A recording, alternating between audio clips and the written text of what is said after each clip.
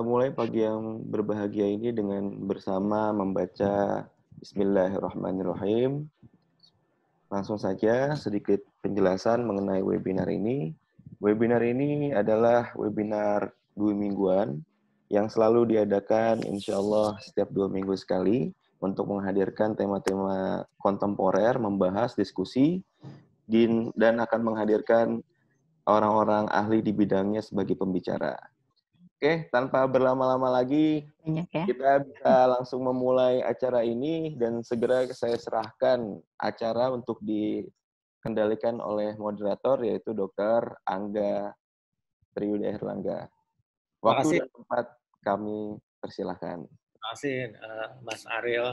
Uh, Assalamualaikum warahmatullahi wabarakatuh. Salam sejahtera untuk kita semua.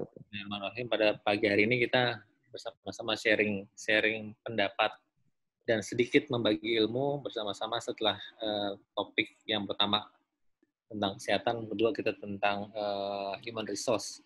Jadi kalau kita lihat uh, saat ini kan banyak teman-teman semua yang kerja dari rumah, ada beberapa orang yang gimana sih kita ngapain aja di rumah, dan beberapa juga karena ada badai pandemi ini, kita banyak dari teman-teman semua yang dirumahkan dirumahkan itu uh, dalam arti ada yang sebagian sudah kerja lagi, tidak tidak melakukan suatu tindakan lagi, uh, atau kita uh, belum tahu nih mau ngapain lagi nih. Karena memang banyak sekali hal-hal yang harus kita lakukan dalam uh, mengantisipasi pandemi ini. Salah satunya adalah gimana sih kita melamar kerja. Karena kalau kita lihat ngelamar kerja itu gampang-gampang susah ya teman-teman semuanya. Karena memang uh, bagaimana cara kita uh, menampilkan profil kita. Kerjaan apa aja sih yang sekarang uh, udah banyak di PHK, tapi kerjaan apa aja sih masih ada kans buat kita untuk melakukan satu uh, lamaran kerja, atau apa sih yang bisa kita lakukan dalam mengantisipasi persaingan dalam dunia lamaran kerja ini.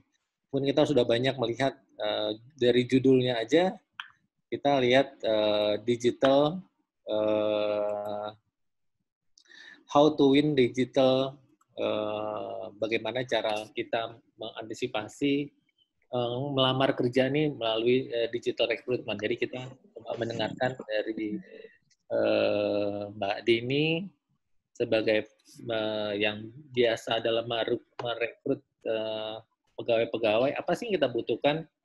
Apakah kita hanya butuh uh, CV yang yang dulu kita bawa-bawa pakai map mau lamar kerja ya. Nah kayak gitu-gitu sekarang udah nggak seperti itu. Kita cuma mendengarkan lagi uh, apa yang dibutuhkan baik dari sisi perusahaan maupun dari sisi uh, pegawai dalam melamar kerja. Uh, terima kasih. Mungkin waktu untuk uh, untuk Mbak Dini. Uh, baik, teman-teman. Uh, jadi di sini uh, ini tadi profil sudah diperkenalkan ya. Nah, agenda kita hari ini adalah bahwa uh, kita ingin mengenal dulu apa sih uh, digital recruitment gitu ya. Ke kemudian uh, kenapa kita butuh mentransformasi proses rekrutmen ini dari uh, tradisional atau manual recruitment menjadi digital recruitment. Kemudian apakah kita siap dengan perubahan ini? Bagaimana untuk mempersiapkan itu dan bagaimana membuat CV kita ini menjadi berbeda gitu ya. Kemudian nanti saya juga akan share beberapa CV untuk uh, apa lebih membuat CV kita itu dilihat ya oleh perusahaan yang kita apply. Uh, jangan lupa teman-teman nanti kita akan coba sajikan bagaimana mengcreate first impression, kemudian memperkenalkan bagaimana kita lengkap dengan hard skill, soft skill dan capabilities yang kita punya.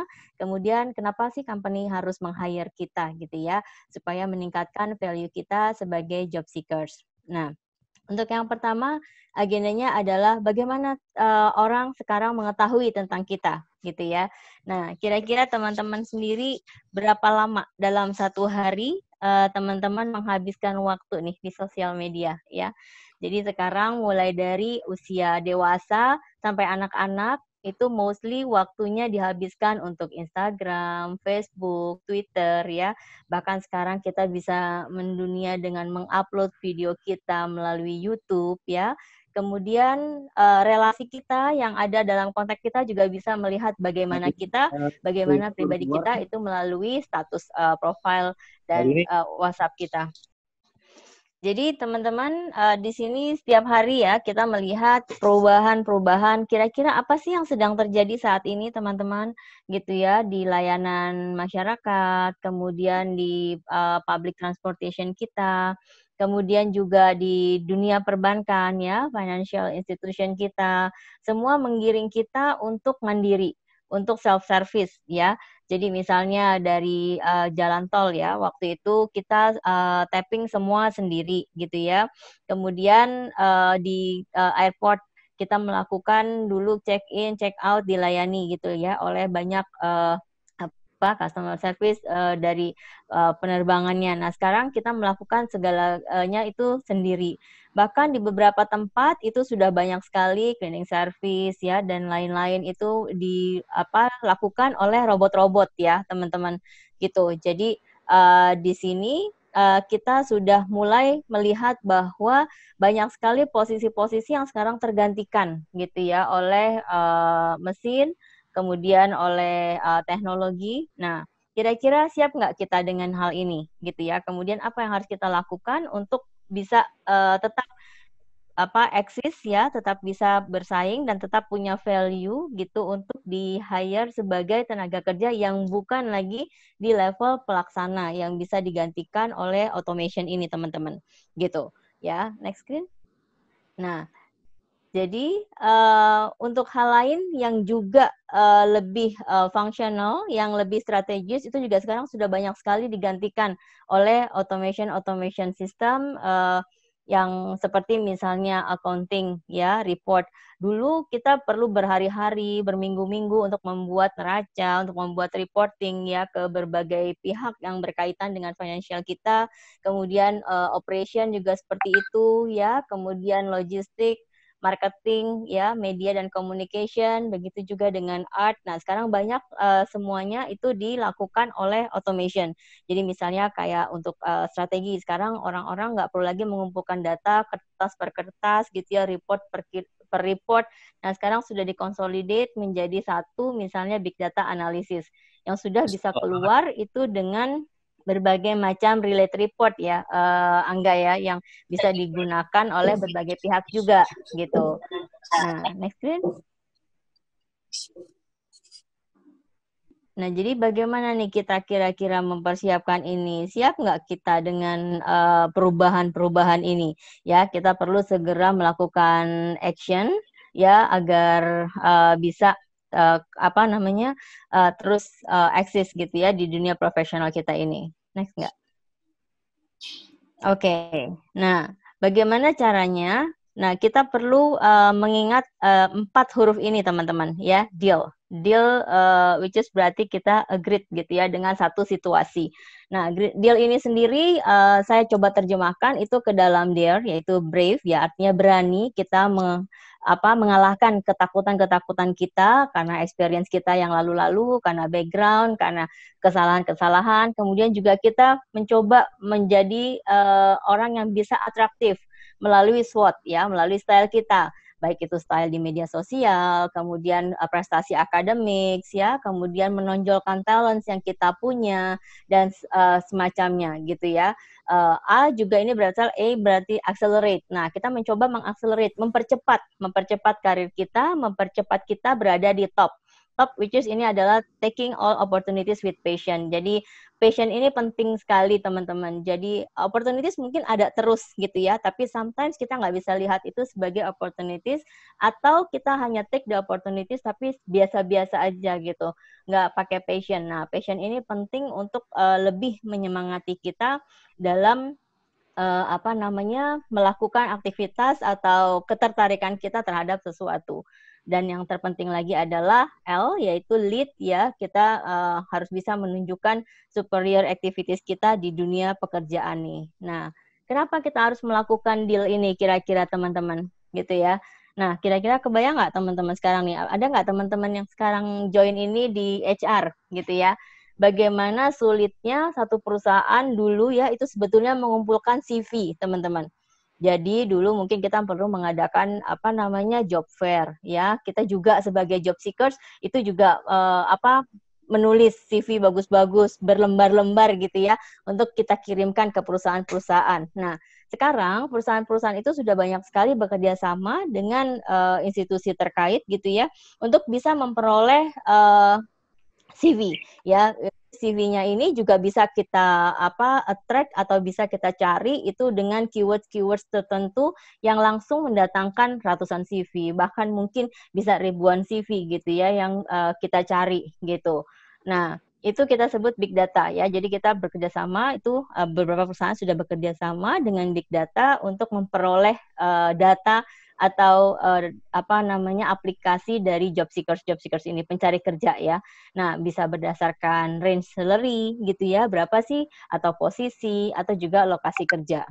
Nah, jadi untuk saat ini kita agak sedikit uh, harus perlu concern gitu ya bahwa saat ini CV masih diperlukan nggak gitu ya perusahaan menunggu CV kita nggak gitu ya nah actually uh, eh, CV sudah tidak terlalu uh, ditunggu oleh perusahaan karena perusahaan secara uh, proactively juga bisa mencari itu melalui institusi terkait ya. Nah, once kita punya kesempatan atau memang kita ingin mengirimkan CV, kira-kira CV seperti apa sih yang kira-kira uh, bisa mencuri perhatian dari para company-company yang sedang mencari uh, apa namanya pelamar pekerjaan ini gitu ya. Jadi kita perlu desain CV itu semenarik mungkin. Kemudian formatnya kalau bisa tidak uh, biasa tapi tetap enak dipandang mata ya. Jadi nanti kita berikan juga beberapa contohnya. Kemudian eh, bagian-bagian penting yang ingin diketahui oleh perusahaan seperti pendidikan kita, kemudian uh, professional journey kita, kemudian uh, skills atau capabilities yang kita punya gitu ya. Nah itu bisa juga gamp sangat gampang ditemukan dalam CV kita, jadi nggak terlalu colorful,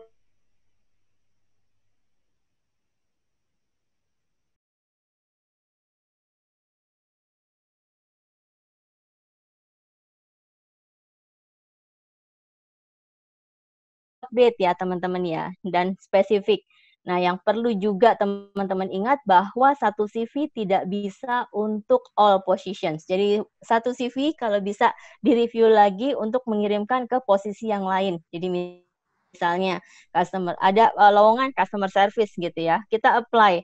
Sementara uh, company lain itu juga sedang membuka vakan misalnya untuk audit gitu ya atau untuk collection. Nah, Which is ini agak uh, kontradiktif nih teman-teman. Jadi yang mau ditonjolkan oleh teman-teman pada saat apply untuk customer service kan pasti keramahannya gitu ya, keterbukaan teman-teman, kemudian communication skills dan sebagainya.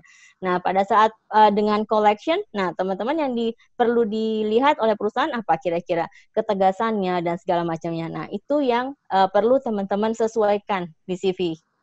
Jadi teman-teman uh, apa namanya perlu selalu mengupdate CV ya dan nanti kita akan lihat korelasi CV dengan uh, sosial media teman-teman karena uh, di perusahaan juga melakukan uh, apa namanya penyesuaian itu gitu ya.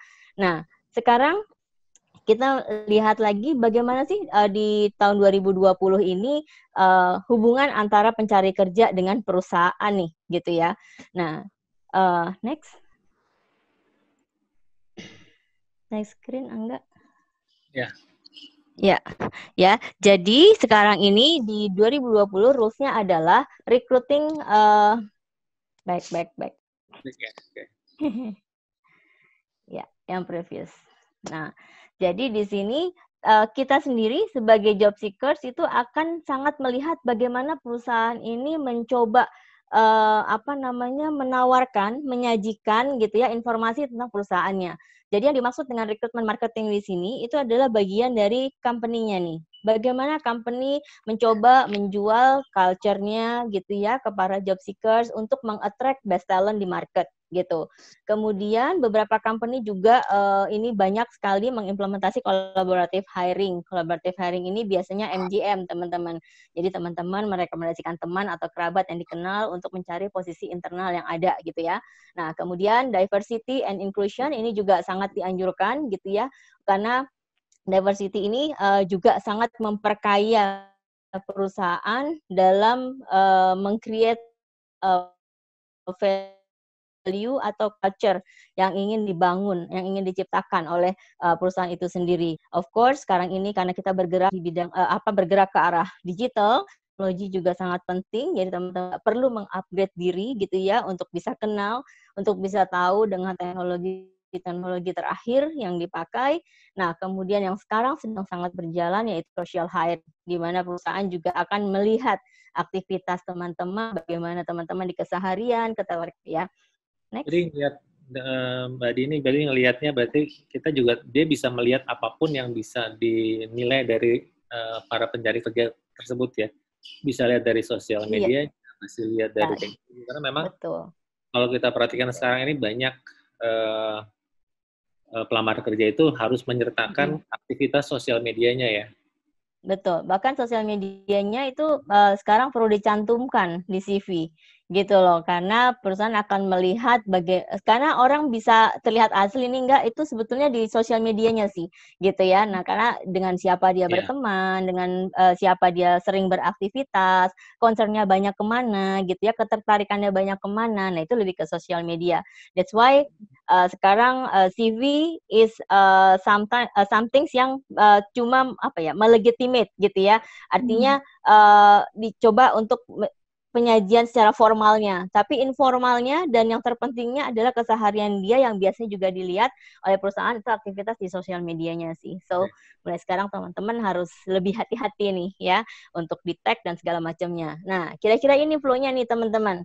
Jadi uh, kira-kira dalam digital recruitment ini apa sih uh, uh, apa yang dijalankan oleh company, apa bagiannya job seekers dan apa bagian company-nya lagi gitu ya. Yang pertama adalah pastinya company membuka open vacancies ya. Jadi dia membuka uh, apa namanya lowongan kerja gitu ya. Sekarang ini nggak cuma di koran, nggak cuma di website ya. Mereka juga mengeksplor, memberitahukan gitu ya, menginformasikan vakan-vakan positions ini juga melalui sosial media juga gitu melalui website mereka gitu ya. Kemudian pelamar kerjanya ini uh, juga melamar pekerjaannya it's not only uh, by paper gitu ya, nggak cuma melalui apa namanya kertas, tapi juga mereka bisa mengirimkan CV. Malah sekarang itu CV banyak uh, melalui video teman-teman gitu. Nah itu uh, nanti untuk uh, apa pembuatan video nanti kita bisa bantu juga, kita bisa konsultasikan dengan weekend, kemudian uh, uh, apa namanya nanti contoh-contohnya juga bisa kita inform ya. Nah, setelah CV-nya dikirim diterima oleh company, company akan melalu, melakukan assessment nih. Kita lihat gitu ya. Uh, CV-nya kemudian biasanya akan juga di against dengan sosial medianya tadi gitu. Nah, pada saat ini uh, dia ketertarikannya seperti apa nih? Uh, ke kemudian uh, kriteria apa namanya secara emosional orangnya seperti apa gitu ya. Sering memaki nggak nih di sosial media? Sering mengeluh nggak gitu ya. Kemudian banyak aktivitasnya apa nih? Gitu. Cuma selfie selfie saja kah? Atau lebih banyak dengan keluarga kah yang dieksplor gitu ya? Atau ah, yang diekspos atau apa bukan nah setelah ya, itu ya. company akan mengundang chatnya.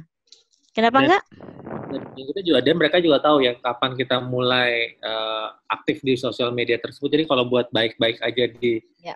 Satu bulan terakhir kelihatan banget ya dia mau sosial media. Iya. Jadi ntar teman-teman biasanya kemarin ada yang come up itu dengan ide, oh berarti kalau kita mau melamar pekerjaan kita cantumin sosial media baru aja ya gitu ya. Nah ya. jangan juga teman-teman karena di situ akan ada kan since kapan gitu ya kita join dengan sosial media itu gitu. Yang perlu kita lakukan hanya mereview saja gitu. Kita lihat uh, tag-tag teman-teman yang kiranya memang tidak mau di tag atau tidak menggambarkan diri kita gitu ya. Nah, itu better uh, mulai kita apa pilih-pilih ya, kita pilih mana nih uh, apa diri kita gitu. Identitas kita seperti apa, lebih seperti itu. Kemudian setelah itu uh, perusahaan akan melakukan assessment ya. Nah, uh, dari job seekers itu juga akan join assessment ini. Nah, sekarang assessmentnya juga macam-macam nih teman-teman. Banyak sekali bahkan uh, interview itu tidak dilakukan face to face lagi. Artinya yang pencari kerja tidak harus datang ke kantornya, berhadapan dengan apa namanya para pejabat di sana untuk di assess gitu ya. Ini bisa dilakukan dengan video call ya. Kemudian uh, bisa juga hanya diberikan beberapa tugas untuk kemudian kembali lagi ke perusahaan itu untuk menyerahkannya gitu. Bahkan sekarang terakhir itu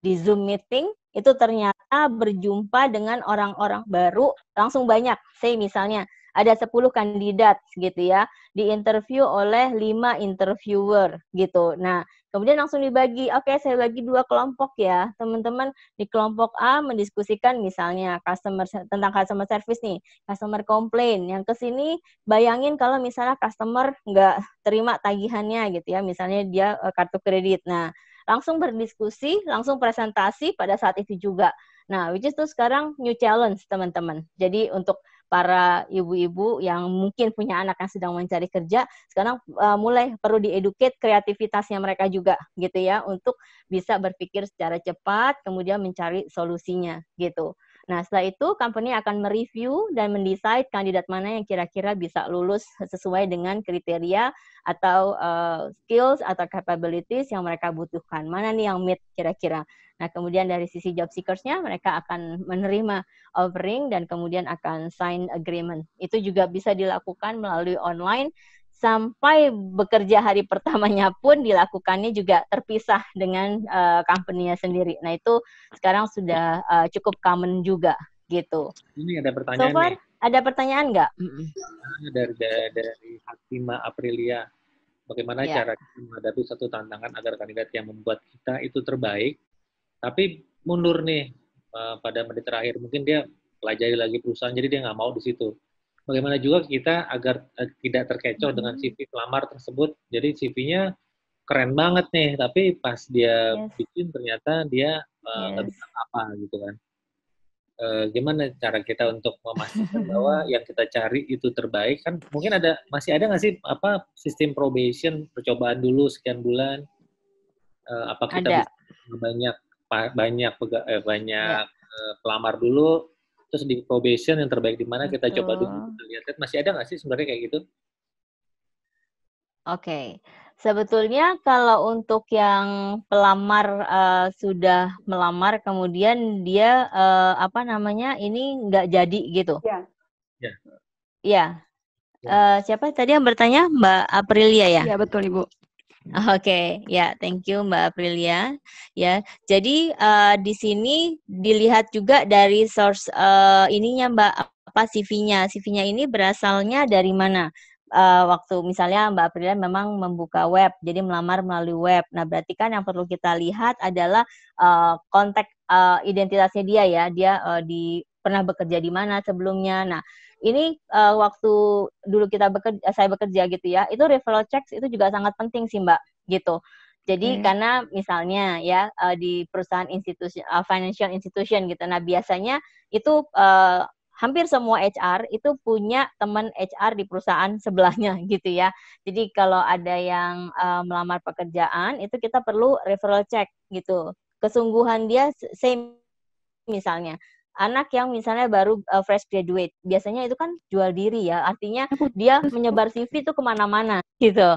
Nah, itu sebetulnya secara terbuka kita perlu tanyakan pada saat proses dengan kita sedang ada proses di mana gitu, sudah sampai stage apa. Nah, di saat itu kita bisa melihat juga bagaimana sebetulnya dia akan memilih siapa opportunity-nya. Kita uh, sebagai uh, apa namanya pemberi kerja itu sebetulnya perlu juga uh, terbuka ya bahwa kalau opportunity-nya di sana memang lebih baik, lebih bagus, bisa lebih cepat juga gitu ya. Nah, kita sudah bisa memprediksi nih kira-kira di stage ini mungkin akan mundur kali ya gitu. Nah, lebih seperti itu sih, Mbak. Eh, gitu. Jadi kalau misalnya ada yang mundur, mungkin kita bisa konteks sekali lagi untuk hanya clarify ya. Jadi uh, tidak perlu juga uh, artinya menempatkan diri kita sebagai begging gitu ya. Karena uh, at the end itu commitment should come the job seekers-nya instead of kita gitu. Karena tadi dia harus memilih sesuai dengan passion, interest dan komitmennya dia sendiri sih mbak. Gitu. Kira-kira masih ada yang mau ditanyakan nggak ya kalau kemudian tadi CV-nya uh, kayaknya keren banget nih gitu ya. Nah, terus begitu ketemu sama uh, job seekers-nya sendiri, kok kayak nggak menggambarkan ya, CV-nya nih. Uh, nah, uh, secara ya, secara mungkin kan kalau CV banyak yang suka minta buatin juga ya gitu ya. Atau uh, ada juga yang uh, browsing gitu ya. Kemudian mencontoh formatnya keren banget, colornya bagus gitu, fontnya juga terlihat profesional, ya bahasa Inggrisnya juga sometimes tuh bagus sekali gitu ya, nggak common gitu untuk para uh, job seekers baru gitu. Nah itu bisa kita uji pada saat kita ketemu sih, atau pada saat kita online video gini gitu. Jadi kan kalau udah face to face seperti ini kan harusnya kan uh, sedikit dia bisa sedikit kita bisa uh, ketipu gitu ya karena sebentar gitu. Tapi tadi sosial media dia akan talking about uh, uh, dirinya dia seperti apa gitu. Teman kita kenal ke perusahaan tempat bekerja kalau kita ada yang kenal gitu ya atau ke atas dia yang sebelumnya kalau kita kenal. Kemudian kalau kita nggak mengenal sama sekali kita lihat di uh, apa media sosialnya mbak gitu. Jadi kan dengan nama biasanya di Google searching itu bisa keluar nih dia uh, kalau dia common gitu ya di Facebook ada, di Instagram ada, biasanya itu bisa juga sih anak seperti apa gitu. Tapi kalau doubt dari awal itu better kita kasih tahu ke minimal ke atasan langsungnya yang akan taking care dia gitu ya untuk bisa di sharper lagi, di digging lagi apa yang mau kita tahu dari anak ini gitu. Kira-kira seperti itu. Ada pertanyaan lagi? Nanti dilanjutkan dulu deh. Nanti ada beberapa, ada tiga pertanyaan lagi. Nanti coba dilanjutkan dulu, Mbak Din. Oke. Okay. Ya. Baik itu screen-nya ya. Ya. Oke, okay, ya. Jadi uh, kita kembali nih uh, sekarang tadi ya untuk mempersiapkan diri kita agar kita tetap bisa menjadi uh, apa ya kandidat terpilih ya oleh perusahaan itu apa sih yang perlu kita miliki gitu ya?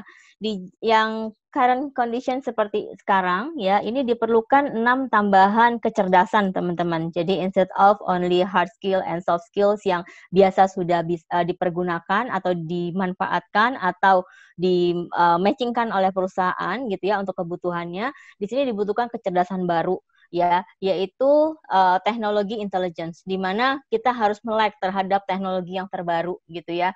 Jadi zaman sekarang nih misalnya oh ya nanti kamu saya undang Zoom meeting ya. Zoom itu apa ya Bu ya? Nah, yang kayak seperti itu should be uh, harusnya udah nggak ada nih gitu ya. Jadi kita sudah juga juga mengenrich atau meningkatkan kecerdasan diri kita terhadap teknologi-teknologi terakhir gitu. Misalnya sekarang ada Google Meeting, ada Zoom gitu ya dan seterusnya gitu. Kemudian social and emotional intelligence. Nah, ini yang juga biasanya itu uh, banyak dilihat gitu ya dan harus kita miliki dan ini uh, akan tereksplor juga gitu ya dari sosial media yang kita punya dari status yang sering kita pasang, dari interest yang sering uh, memang kita like dan seterusnya. Kemudian uh, contextual intelligence di mana kita juga perlu mempunyai kecerdasan untuk mengkonsep sesuatu gitu ya. Uh, perlu uh, kecerdasan untuk bisa membuat satu uh, keputusan yang beralasan, yang bisa diarg uh, diargumentasikan ya. Kemudian generative intelligence ya, melihat uh, keseluruhan secara lebih luas tidak uh, hanya spesifik uh, dan uh, certain small things gitu ya. Kemudian mengeksplor dan mentransform. Nah, ini juga sangat penting teman-teman di mana kita juga sekarang ini dituntut untuk mencari uh, apa namanya uh, apa ya namanya kesempatan-kesempatan uh, lain gitu ya atau alternatif-alternatif lain gitu ya di saat kita sedang menghadapi situasi. Jadi nggak kaku ya. Jadi artinya oh saya harus makan kalau ada nasi misalnya gitu ya. Nah kalau terus kita di hutan saya makan apa gitu ya. Saya harus uh, ketemu kalau nggak saya nggak nggak bisa ketemu orang misalnya. Saya uh, harus nulis dulu sebelum ngomong. Nah yang seperti itu itu harus uh, punya kecerdasan untuk uh, mencoba menutupi gitu ya uh, kekurangan kekurangan Jadi, itu untuk mentransform ke bentuk-bentuk yang lebih baik gitu. Gimana enggak? Ini terkait dari ini nih ada dua ada tiga pertanyaan tapi yang pertanyaan yang hmm. dari Pak nanti mungkin yang belakangan ya tapi ya. ada dari Pak Herlian dan Mas Suryanto eh, terkadang company menilai karakter pelamar lebih efektif melalui face to face langsung dibanding dengan melalui face, apa? face to face dibanding dengan virtual okay. atau meeting. Bagaimana pendapatnya? Yang kedua, mm. tes uh, interview rekrutmen ini secara virtual atau online sudah cukup bisa mem, sudah cukup untuk bias menyimpulkan ke seseorang kualifikasi atau tidak. Uh, kalau kita uh, virtual ini sudah menggambarkan nggak sih sebenarnya apa yang kita bisa uh, nilai ini mungkin dari sisi uh, company dan dari sisi uh, pelamarnya. Jadi kalau kita lihat apakah uh, pakai uh, face to face Yang kayaknya pertama kita, tadi ada kepuasan kalau lebih bisa face to face ya. Ya, kita bisa lihat gestur orang tersebut kan. Kalau dari virtual kan kita cuma lihat sebatas okay. Yang kedua, apakah uh, virtual ini sudah cukup uh, menyimpulkan seseorang kualifikasi? Kalau dilihat dari intelligence need yang harus dikelihatan kan kadang-kadang yang dilihat okay. itu ya.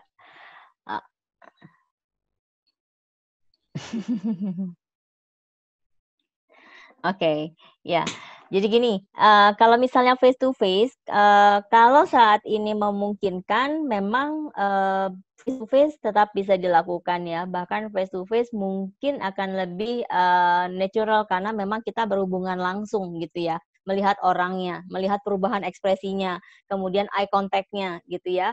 Kemudian eh, apa kestabilan dia pada saat misalnya kita sedikit menaikkan emosi kita gitu ya untuk ngetes gitu gimana sih nih orang kalau misalnya saya sedikit eh, kasih pressure gitu ya, kalau sedikit saya kasih eh, tekanan gitu. Nah, kemudian uh, sekarang kalau misalnya kondisi memang face to face ini uh, kurang memungkinkan, berarti kan kita memang tetap harus menempuh virtual ini kan gitu. Nah, sebetulnya di virtual ini kita juga bisa mengeksplor kandidat itu seperti halnya kita face to face sih Bapak-bapak gitu ya. Yang bertanya nih, Pak, siapa tadi Pak Arianto ya?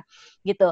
Nah, kita bisa misalnya uh, boleh nggak uh, bikinin video gitu ya? Misalnya mengeksplorkan uh, misalnya menggambarkan jika kamu misalnya sedang uh, kesulitan. Kayak tadi misalnya saya berikan contoh FGD kita kasih aja masalah gitu. Terus bagaimana caranya dia uh, bisa memberikan solusi dari permasalahan yang kita kasih gitu.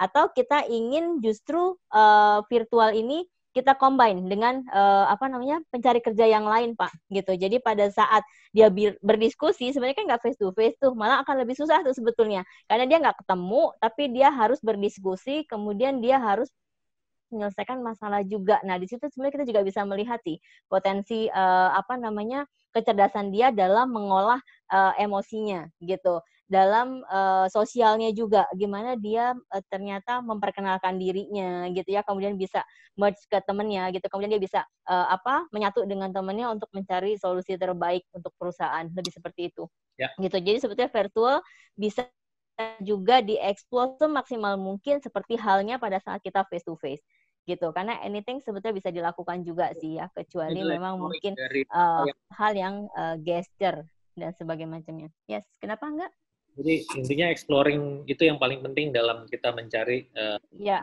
mencari dan uh, itu uh, harus dan pada saat itu juga ya. Jadi artinya gini, uh, jangan ditunggu gitu sampai misalnya tadi mengandalkan uh, probation gitu. Karena probation itu sebetulnya agak beresiko gitu. Probation itu kan juga tiga bulan, kemudian uh, sudah masuk artinya ke dapur kita nih, ke perusahaan kita gitu. Kalau bisa sebetulnya kalau kita nggak terlalu uh, firm dengan kandidat ini, itu from the beginning uh, should be nggak uh, sempat masuk sih ke perusahaan gitu. Kemudian referral check juga perlu sangat dilakukan Pak gitu supaya untuk melihat genuinnya uh, kandidat kita gitu.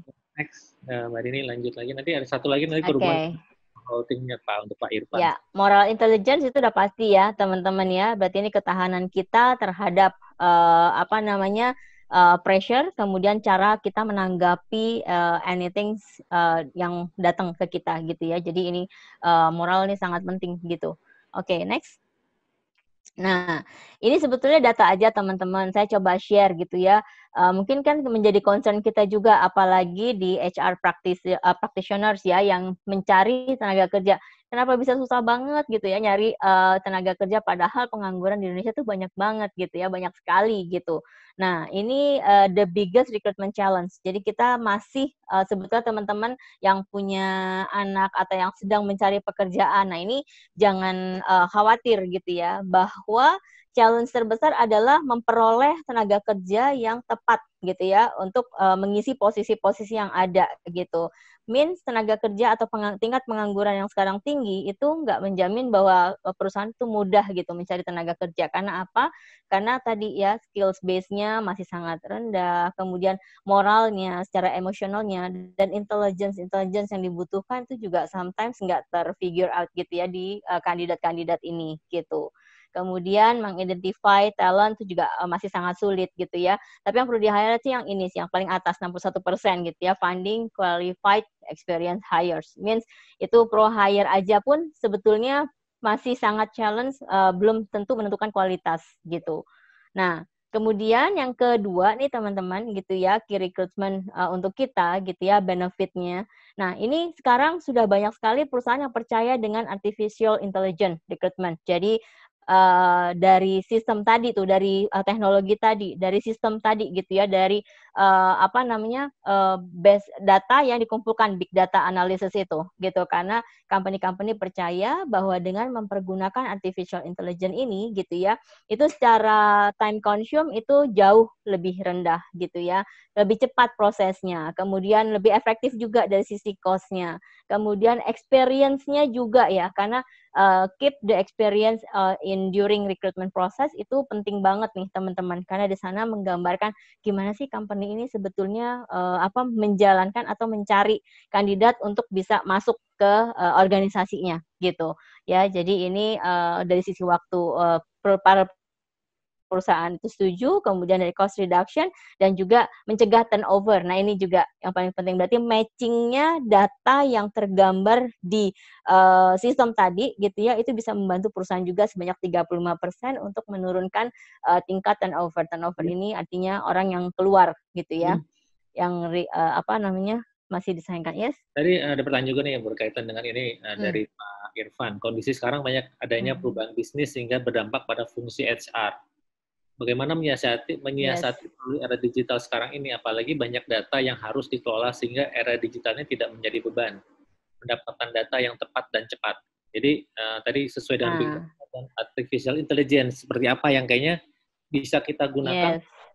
mencari job seeker sama job seekernya juga bisa mengandalkan itu jadi saling tiba baik gimana caranya supaya lebih uh, efisien dari hmm. ya sebetulnya menggunakan uh, apa third untuk uh, mendapatkan data-data uh, pencari kerja gitu ya itu uh, itu sangat dibutuhkan uh, partner sebetulnya yang uh, luas nih ininya apa namanya um, networknya pak gitu dan juga spesialisasinya. Jadi untuk memaksimalkan ini sebetulnya perusahaan uh, untuk HR itu perlu ngelihat bahwa saya misalnya untuk uh, perusahaan yang men sedang mencari customer service gitu ya. Nah, biasanya kita akan mencari third party atau vendor kita gitu ya yang secara portfolio itu banyak uh, berkontribusi, banyak mensuplai itu tenaga-tenaga kerja di service juga gitu. Jadi uh, itu biasanya memang spesialisasi mereka juga tuh dan biasanya uh, meet-nya itu uh, agak lumayan tinggi gitu. Artinya bahwa mereka sudah tahu profile service itu seperti apa sih yang untuk face to face, yang untuk uh, call center gitu ya atau untuk collection misalnya. Nah, mereka sendiri itu banyak uh, fan uh, partnernya, banyak customernya itu yang bagaimana gitu. Nah, jadi lebih memaksimalkan profile, Pak Coba dilihat uh, third party profile kita seperti apa, spesialisasi mereka di mana. Kemudian, nah yang banyak lagi sekarang ini adalah uh, apa namanya ya, uh, network mereka ke daerah juga pak, gitu. Karena banyak sebetulnya anak-anak daerah itu karena uh, turnover di daerah itu relatif uh, agak lebih rendah nih pak gitu. Karena uh, mereka memang masih belum terlalu banyak mungkin uh, profilnya juga beda ya uh, job seekersnya gitu. Anak-anaknya masih orang yang sangat bersungguh-sungguh untuk bekerja gitu ya. Nah ini bisa kita lihat juga dari kandidat nih pak. Kandidat sekarang ini trennya adalah salary gitu ya. Jadi uh, di mana kalau misalnya kita membuka vakan untuk satu posisi nah kita perlu cek juga di market itu salary kita kira-kira uh, bersaing nggak gitu Kemudian benefit yang kita berikan untuk posisi yang sama dari satu perusahaan ke perusahaan yang lain, nah itu juga bersaing nggak? Karena sekarang job seekers juga selain salary mencari benefit gitu. Jadi di profile uh, third party yang juga ingin kita gandeng untuk uh, mencari tenaga kerja ini. Nah, seperti apa? Karena kan sekarang kan uh, outsourcing it's very common ya common practice gitu.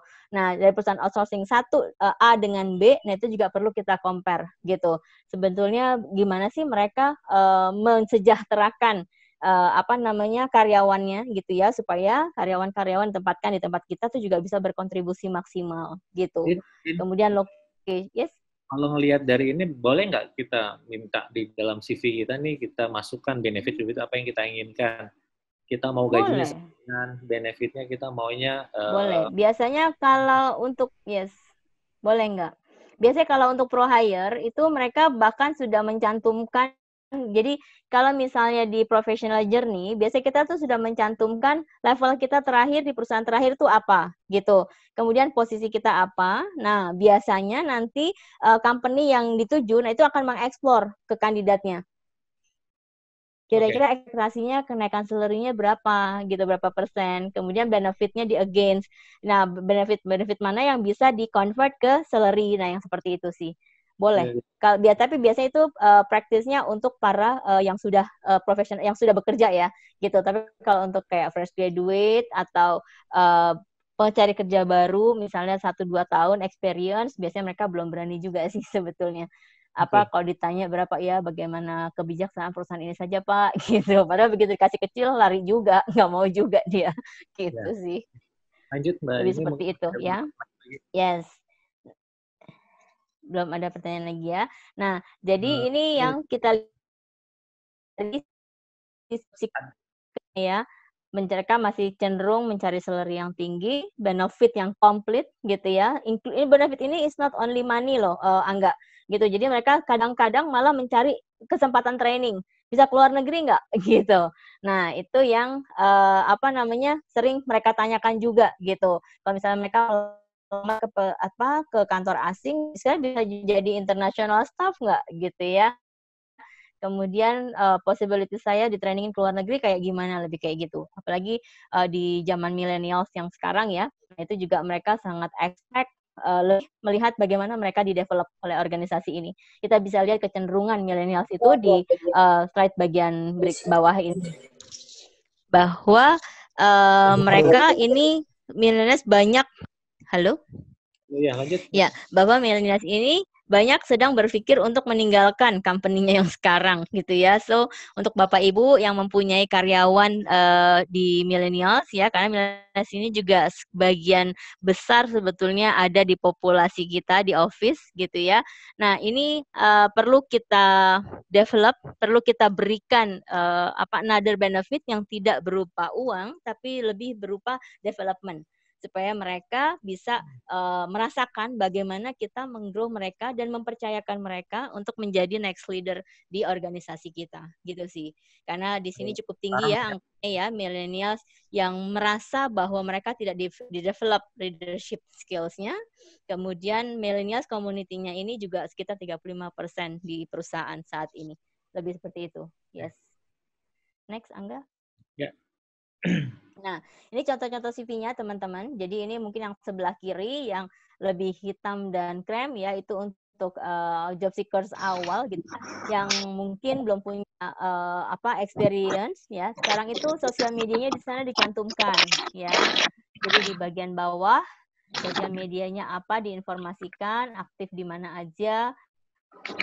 Kemudian organisasi yang pernah dia ikuti apa. Nah, ini berdasarkan experience sebelumnya juga bahwa job seekers yang aktif di organisasi itu juga biasanya akan lebih uh, apa mudah juga untuk beradaptasi ya karena uh, mungkin lebih terbuka ya uh, uh, secara uh, pikirannya gitu ya kemudian nggak terlalu demanding dan seterusnya gitu. Kemudian mereka juga uh, sekarang ini perlu men-show up skills apa dan karakter mereka yang menonjol dari pribadinya gitu jadi seperti skills, ini technical skillsnya yang dieksplor ya, ada Photoshop, English, ya dan lain-lain, visio dan lain-lain. Nah, untuk yang sebelah kanan mungkin untuk yang sudah lebih sedikit uh, profesional gitu ya. Jadi sudah dicantumkan di paling atas itu justru experience pekerjaan terakhirnya uh, mereka ini apa gitu. Nah, disarankan untuk CV itu uh, tidak perlu colorful ya. Jadi artinya monokrom itu uh, will be better dan lebih nyaman juga di mata karena bukan apa-apa karena kan HR recruitment itu nggak melihat CV itu uh, kurang dari 10 sehari gitu ya. Banyak sekali gitu melihat CV nah so please make sure kita menjadi CV terpilih yang bisa uh, mereka yang membuat mereka interest untuk mengeksplor atau melihat secara dalam lagi dan at the end mengundang kita sebagai kandidatnya sih. Gitu. Ya next nah ini uh, lebih kepada graphic artist nah biasanya uh, eh, CV itu juga menggambarkan posisi yang kita apply biasanya kalau uh, posisi yang kita apply itu uh, bersifat misalnya art ya, kemudian desain. Nah, itu biasanya akan uh, lebih atraktif gitu CV-nya, akan lebih colorful. Tapi kalau misalnya yang lebih bersifat teknis ya, kemudian massive position dan segala macamnya, itu mungkin akan uh, jauh lebih sederhana. Ya, nah ini CV yang bersifat kertas nih ya, masih on paper, masih words dan segala macamnya. Sekarang yang common itu justru CV yang melalui video sih teman-teman gitu. Jadi uh, referralnya mungkin teman-teman bisa explore banget itu di YouTube banyak banget video-video CV yang sangat bagus ya. Dan kita juga di weekend bisa membantu teman-teman juga sih untuk membuat CV video ini supaya uh, lebih komunikatif gitu ya, message-nya sampai, kemudian aktualisasi dirinya juga terekam dengan baik oleh perusahaan yang kita tuju gitu. Ya. Uh, sekarang kan uh, terima kasih Dini. Uh, yes. Uh, ada ada pertanyaan dari Hakim Aprilia. Terkadang kita membutuhkan tenaga yang berpengalaman, akan tetapi kita selalu kalah terhadap harga saing. Menurut Ibu, solusi terbaik apa yang harus kita sikapi, kami sikapi untuk menghadapi case seperti ini? Ini, jujur, kami jujur. sangat sulit ketika diminta hire yang sudah experience, tetapi dengan harga yang belum bisa bersaing gitu ya. Oke, okay. Nah, tadi seperti kita lihat ya bahwa job seekers ini sometimes jadi gini, kalau untuk tenaga yang sudah experience, kita lihat nih uh, Mbak Aprilia ya bahwa apakah dia uh, kira-kira range umur itu juga menentukan apa yang kira-kira bisa kita over actually gitu ya. Karena banyak sekali orang yang uh, biasanya sudah berpindah-pindah itu tidak mencari lagi uh, rupiahnya, tapi mencari kenyamanannya. Nah, jadi apa yang kira-kira bisa uh, kita over ke kandidat ini selain uh, harga gitu ya, tapi misalnya lokasi gitu atau fleksibilitas uh, jam kerja gitu ya, atau mungkin uh, bisa kita tawarkan kalau misalnya pekerjaan tawarkan itu ternyata uh, certain period gitu ya, bisa dilakukan based on project jadi perusahaan tidak melihat bagaimana seringnya dia ke kantor, tetapi lebih kepada result atau progress yang bisa dia sampaikan melalui schedule project yang bisa dia submit gitu. Nah itu juga another offering yang bisa di over ke kandidatnya atau mungkin juga kalau misalnya yang lainnya adalah development ya kesempatan dia berkarir gitu. Say misalnya uh, dengan harga yang tidak karena gini karena sometimes ada orang juga yang uh, ngejarnya itu ini uh, nggak apa namanya title gitu. Saya nggak apa-apa deh pindah ke perusahaan ini gajinya segini tapi titlenya harus ini ya gitu. Okay. Karena dia ngejarnya title. Karena title itu kan berjenjang ya Mbak uh, Aprilia ya. Jadi yeah. biasanya misalnya ada perusahaan yang manajer aja panjang banget dari mulai asisten manajer satu dua manajer satu dua terus senior manager satu dua baru FVP gitu ya. Nah terus FVP-nya satu dua lagi gitu ya baru. VP nah gitu. Nah jadi mungkin itu juga yang bisa kita liatin gitu. Bisa nggak nih kita kira-kira uh, over dia gitu. Dia dari perusahaan yang menganut uh, jenjang karir seperti apa kalau terlalu berjenjang tadi, kita mungkin bisa nego ke HR director atau apa, decision maker di perusahaan kita, boleh nggak kita kasih level ini, gitu. Karena uh, kita nggak bisa over harga lagi yang lebih tinggi, gitu. Karena increment itu kan persentasenya juga perjuangan ya untuk di HR ya perboleh iya. ke mana-mana gitu jadi ya mungkin jenjang itunya uh, apa namanya corporate title-nya yang bisa dikejarin gitu Oke, okay. uh, eh, tapi uh, gini bu ya, terkadang kita misalnya uh, kita sudah oke okay, nih mereka setuju dengan apa yang kita tawarkan seperti itu kan, walaupun memang harga yang kita tawarkan itu masih di bawah sa uh, harga saing gitu kan, tapi ketika dia udah join ke kita karena dia merasa uh, kita membutuhkan, terus jadinya uh, agak sedikit susah diatur untuk mengikuti uh, mengikuti prosedur yang ada gitu kan, SOP yang ada di perusahaan kita. Nah, itu seperti apa sih kita harus menyikapi orang seperti itu gitu. Jadi kayak oke okay, saya terima tawaran Ibu dengan harga segini, tapi ketika dia bergabung okay. dia jadi kayak semena-mena ya. gitu, yeah. Bu.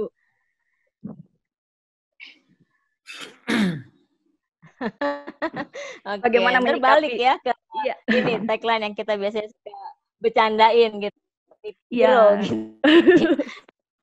ada harga ada barang. Gitu. Ya, emang. Ya itu kendala. Sebetulnya uh, only tiga bulan pertama dia join itu sangat berpengaruh nih Mbak gitu. Jadi hmm. kalau kita biasanya menganut paham itu uh, 90 90 days and the first time 90 days itu the key untuk dia okay. uh, di perusahaan kita akan lama atau enggak gitu ya bagus atau enggak. Nah, itu which is berhubungan tidak hanya dengan HR-nya tapi justru dengan direct uh, environment kerjanya dia, partnernya dia, kemudian dan hmm. atasannya dia gitu. Nah, kalau tadi dia sampai bisa terus uh, semena-mena gitu, mungkin tadi kita bisa berkolaborasi nih HR-nya gitu ya hmm. dengan atasan langsungnya okay. uh, waktu masuk keadaannya seperti ini gitu. Jadi tolong dibantu dengan begini-begini gitu. Jadi misalnya ya dengan pengawasan yang cukup ketat gitu ya. Atau justru kalau untuk level yang udah senior bukan pengawasan sih, tapi lebih ke partnership gitu. Jadi yeah. merasa bahwa dia ini diajak gitu bukan di teaching ya teaching itu kan one way ya ke bawah yeah. gitu. Tapi mm. kalau dia diajak berkolaborasi digandeng gitu ya dari samping nah itu hopefully sih harusnya bisa ngikutin sih. Jadi meskipun belok sedikit tapi kan karena tangannya kita gandeng nggak bisa terlalu jauh beloknya. Gitu mbak jadi ya. lebih pendekatan Kira -kira. ya bu ya? Yes pendekatan gitu. Pendekatan dan partnership tadi pairing gitu ya. Diajak dia berinvolve gitu. Atau malah kalau bisa dikasih anak buah. Jadi bahwa kalau dia punya anak buah kan uh, encouragementnya adalah masa sih mau lebih jelek dari anak buahnya? Gitu ya. Masa sih mau ngasih contoh yang nggak bagus buat anak buahnya? Gitu. Nanti takutnya anak Jadi, buahnya malah ikut ikutan secara nggak langsung kita mengeduket dia. Ikutan keluar nah, kan? Nah berarti atasannya harus hmm. sangat berperan tuh ngegandeng. Okay. buat para Bisa, ya. para ada dua pertanyaan lagi yang berhubungan dengan uh, junior dan fresh graduate-nya dari dari yes. Pak Oniawan ya, Mas Oniawan. Bagaimana kita sebagai generasi milenial mau bersaing dengan karyawan senior? Karena sekarang di zaman susah seperti ini, keluarin ya. Jadi gimana caranya? Uh -uh. Yang pertama. Yang kedua mungkin kita gabungkan dengan uh, Ade, Anafia, Hanifah. Saya ingin bertanya, banyak perusahaan yang sudah menginginkan pelamar yang sudah berpengalaman. Bagaimana kalau pelamar yang fresh graduate? Sama nih, intinya Eh, kadang-kadang uh, saya terkadang sulit atau tetap menyeplai CV perusahaan tersebut. Jadi kalau kalau saya sih terus terang di dunia medis kita ngelihat uh, banyak hal gitu kan. Tapi kalau mungkin di mm -hmm. hampir sama sih mungkin kita ngelihat experience segala macam bagaimana kalau mm -hmm. yang muda-muda nih uh, saya mending orang saya butuh seorang uh, HRD saya pasti akan mengambil orang HRD yang mantan HRD dari yang lain buat saya lebih mudah. Tapi kan seperti itu ya. Sedangkan kita harus mengajari dan sebagai yes. Nama Chandra di mukanya di kita tuh seperti apa gitu Oke, okay. ya. Jadi ini menjawab pertanyaan bahwa kita bersaing dengan uh, millennials ya. Kalau dari Pak Oni ini mungkin bagaimana kita sebagai generasi milenials mampu bersaing dengan karyawan senior gitu ya. Nah, Pak, jangan khawatir Pak gitu ya. Tadi uh, apa enam kecerdasan itu banyaknya kita yang punya Pak gitu ya. Banyaknya justru milenials yang punya gitu ya.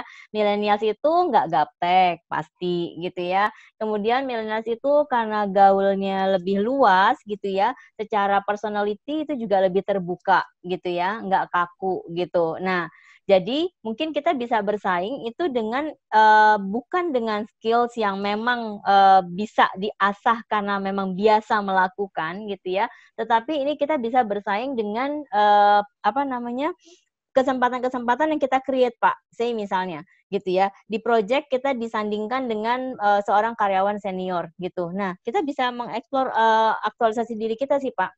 Bagaimana kita mungkin misalnya bisa lebih structured gitu ya dalam menyajikan data, bisa lebih cepat gitu endingnya experience is one thing karena memang dia lahir duluan, kesempatan bekerja duluan gitu ya. But quality itu dan capability itu kita Pak yang telling gitu. Jadi kita yang membuktikan ke perusahaan bahwa saya meskipun muda itu saya bisa ngelit loh gitu ya. Misalnya boleh nggak saya dikasih project Pak? Bilang ke atasannya gitu.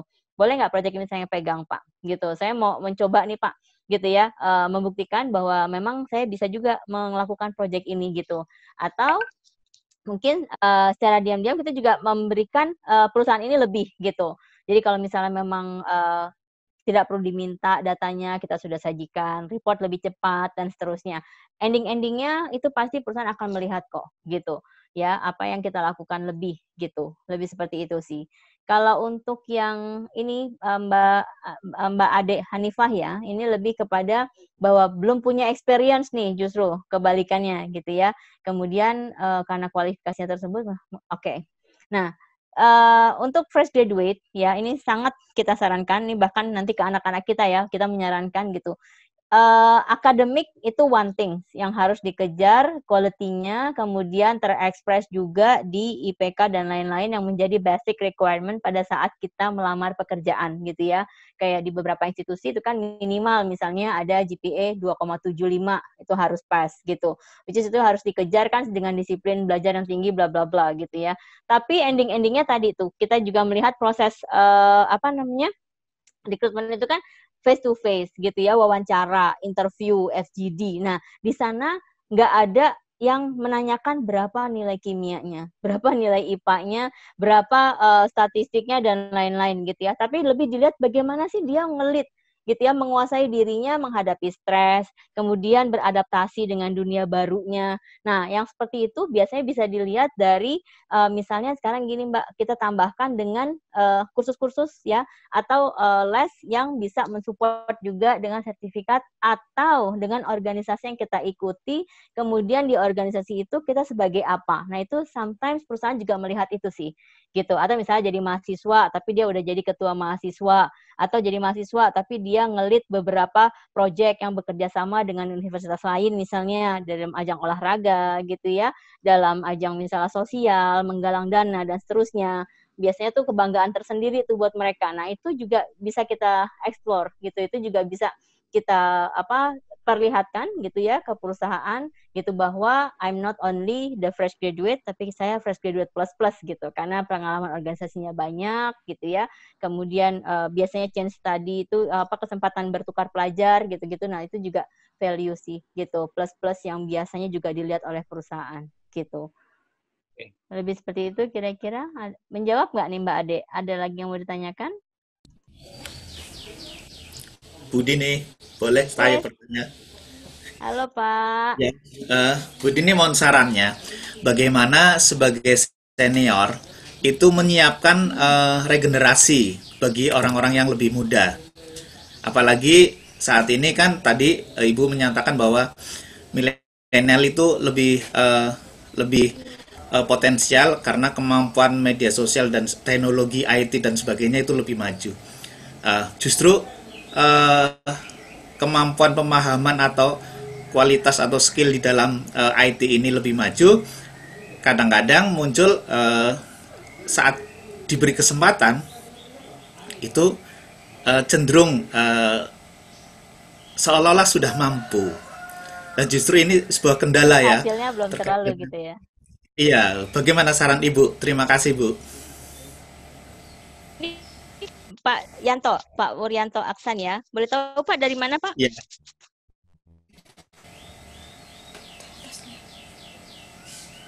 Ya.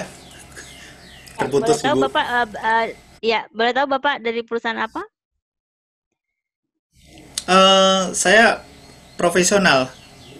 Oh, profesional. Oke, okay. Kesehatan. Ya. ya. Kesehatan juga ya. Oke, okay. gini Pak uh, millennials ini cenderung result oriented Pak, gitu ya. Karena tadi uh, cenderung memang mengandalkan teknologi gitu ya. Jadi prosesnya sometimes nggak terlalu uh, mereka uh, ini kan gitu ya, nggak terlalu mereka concern gitu. Yang penting pokoknya saya bisa uh, setor nanti ke bapak di tanggal yang memang sudah dijanjikan gitu ya. Nah kita kan uh, sometimes yang uh, seniornya di atasnya ngelihat ya, ini kok santai-santai aja ya, padahal dunia udah mau deket gitu. Nah Kemudian sometimes mungkin the way mereka mencapai ketujuannya itu juga yang challenge Pak buat kita gitu. Nah, biasanya itu kita lakukan regenerasi itu dengan uh, apa namanya program coaching dulu Pak. Karena kita perlu tahu tujuan mereka stay di organisasi kita itu buat apa. Gitu. Berapa lama gitu. Jadi kita perlu tahu bahwa mereka ini uh, memang uh, berkeinginan nggak uh, lama berkarir di kita. Kemudian short plan mereka apa, kemudian long term uh, plan mereka itu apa, gitu. Nah, itu bisa diperoleh dari coaching, Pak. Jadi perlunya makanya coaching ke apa uh, atasan untuk betul-betul menjadi leaders. Leaders is not only managers nih Pak ya, yang cuma ngelihat pekerjaan, tapi mereka harus secara personal juga mengenal staffnya gitu. Karena jadi kayak mereka bekerja like home gitu. Jadi kayak mereka bekerja dengan orang tuanya gitu ya. Kalau mereka bekerja dengan orang tuanya kan pasti kan ingin menyajikan yang terbaik. Dengan proses yang baik gitu ya. Tidak asal-asalan tidak kasar gitu ya. Tidak menyikut kiri kanan. Nah yang lebih seperti itu sih pak. Jadi pendekatan itu dengan coaching. Kemudian setelah coaching mungkin dari coaching ini kan kita bisa berikan nanti agreement pak. Biasa di coaching itu yeah. akhirnya itu adalah komitmen kan gitu. Ya. oke okay, kamu bisa berubah ke arah mana saya tunggu berapa bulan nah yang seperti itu. Nah itu yang perlu dikejarin tuh pak gitu. Jadi supaya mereka kita tuntun. Jadi bukan didorong tapi dituntun gitu. Yuk bareng sama saya jalannya. Yuk bareng ngerjain proyeknya sama saya gitu. Supaya mereka bisa menjadi model yang memang kita mau juga gitu. Insya Allah menjawab ya Pak. Terima kasih Ibu Dini. Okay. matur nuwun. Sama-sama Pak. Warinto iya masih ada lagi beberapa pertanyaan kita jawab silakan yes. saya share tindak uh, rencana kita ke depan juga Oke. Okay. Ya, gini aja uh, sebelum ditutup ya, uh, untuk pertanyaan yang memang belum terjawab secara tuntas di sesi ini, mungkin nanti uh, bisa minta ke ini ya, ke apa rekan uh, kami uh, Ariel untuk minta nomor saya untuk kemudian nanti kita bisa uh, share uh, apa lebih intensif lagi gitu ya. Nanti saya bisa mungkin bisa menjadi uh, partner Bapak Ibu, teman-teman gitu ya untuk coba menjawab pertanyaan-pertanyaan yang memang masih belum tuntas di sesi ini ini. Oke? Okay? Terima kasih. Uh, mungkin ya. karena terbatasan waktu, sangat saya sangat senang sekali. Saya juga yang dari uh, praktisi kesehatan juga uh, banyak manfaat yang kita dapatkan pada siang hari ini. Ini saya juga ya. akan mencoba menjelaskan apa sih uh, rencana kita ke depan untuk hmm. new normal ini karena new normal bukan berarti kembali ke normal, tapi kita akan menjadi satu norma yang baru Eh, kita akan beberapa dua minggu ke depan kita we, weekend webinar coba untuk menjelaskan apa yang bisa kita lakukan. Uh, kita bisa membuat solusi, kita mendesain sesuatu buat kalian, kita akan membuat sesuatu yang lebih baik dan membuat lebih happy, lebih senang. Kalau kita lihat, uh, kita depan ini yang hari ini uh, adaptasi cara melakukan kerja pada empat ini uh, berikutnya lagi uh, yang menjawab ini tanggalnya mungkin diperbagi mungkin ya. kita dua minggu depan kita akan uh, ada cooking class mungkin hmm. kita menghadapi lebaran haji nggak bisa ke mana-mana peraturan pemerintah katanya tidak boleh motong kambing yang ramai-ramai jadi kita coba bersama-sama memasak uh, gitu ya mbak Dini ya nanti mbak Dini ya. yang masak siapa nih? Enggak dong, kita akan mendatangkan chef khusus dari Timur Tengah. yang sudah bereksperience tinggal kurang lebih tiga tahun ya, waktu itu ya di Jeddah. Gitu. Jadi ini resepnya akan murni dari sana. Oke, jadi kita memang uh, nanti untuk kembali ke HRD lagi, nanti kita akan butuh mungkin sekitar satu bulan ke depan lagi, kita akan ya. diskusi lagi, dan dari sisi saya mungkin dari sisi kesehatan juga, kita akan coba continue continuing di dalam bidang-bidang ini. Uh, terima kasih uh, atas kehadiran semua teman-temannya. Nanti kita bisa upload di YouTube bila ada YouTube. yang yeah. YouTube kita ada YouTube-nya di weekend YouTube. Nanti uh, ke depan nanti bila sudah uh, kita establish kita akan coba uh, online juga di dalam uh, YouTube-nya. Terima kasih atas kehadirannya. Wabil Taufik Hidayah. Wassalamualaikum warahmatullahi wabarakatuh. Silakan Mas. Assalamualaikum warahmatullahi ya. wabarakatuh. Alhamdulillah. Terima kasih teman-teman semuanya untuk partisipasinya. Jangan bosan-bosan nanti tolong lihat IG kita untuk update acara selanjutnya ya. Oke. Okay, ya, terima kasih semua. Assalamualaikum. Waalaikumsalam warahmatullahi wabarakatuh. Waalaikumsalam warahmatullahi wabarakatuh. Terima kasih.